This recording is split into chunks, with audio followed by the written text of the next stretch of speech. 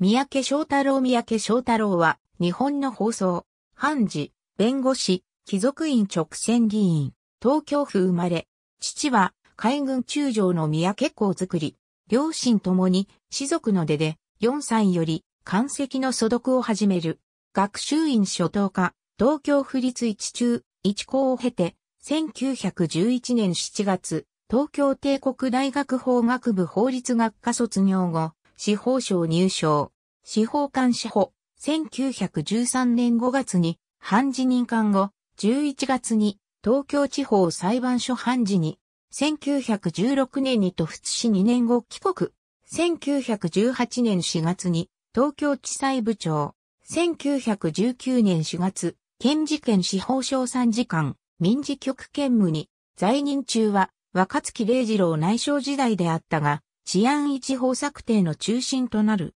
昭和に入り、思想検事や特攻警察前世の時代となり、治安維持法に対する拡大解釈が主流となるが、当初三択が狙いとしたものは、私有財産の維持であり、国体概念の拡大解釈や、恣意的な運用を通じた思想や、その関連団体の検挙を目的としてはいなかった。後1924年に、司法大臣秘書官、大臣官房秘書官、1927年大審院検事、1929年に同判事、1934年に東京地裁所長、1935年5月、札幌高訴委員長、1937年1月、大審院部長、1939年6月、長崎高訴委員長などを経て、1940年に司法時間、以後、1941年9月に大審院部長、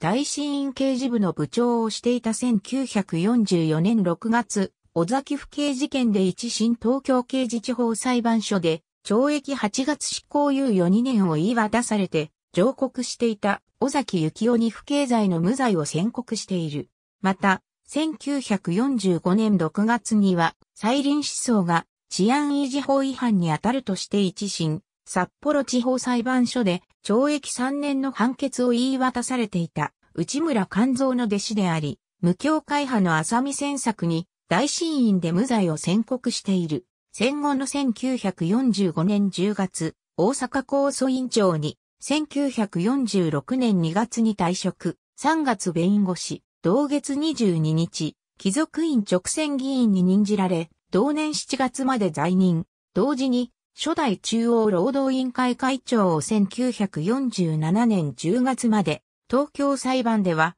梅津義次郎の弁護人を務めた。その途中1946年7月から1951年8月まで、公職追放、文人肌で、泉京香の愛読者であり、1928年から京香を囲む999回の世話役を務め、随筆集も刊行、2007年、慶文社から復刊された。幼い頃より芝居に親しみ、歌舞伎や邦楽にも詳しく、劇評なども手掛けた。ありがとうございます。